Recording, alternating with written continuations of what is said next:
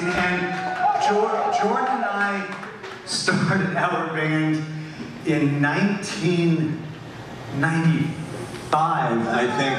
It, and, and it all happened as a result of Jordan joining the Dixie Dregs in uh, towards the end of 1994. On the first night that we did a show, the power went out. He and I looked at each other. We had just met the day before, shrugged our shoulders, and decided since all the power on Steve Morse's guitar and the violin and the bass had went down, uh, but Jordan's keyboard was still in the PA system. We just decided to jam until the power came on.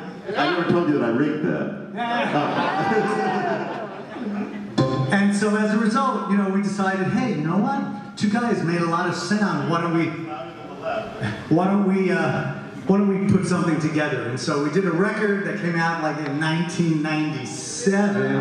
And whenever schedules permit, we get together and do a few shows. So we're gonna play a bunch of music for you. So stand, stand and enjoy it. I was gonna say sit back, kick back and, and, and relax, but Yeah. I guess there's no chairs.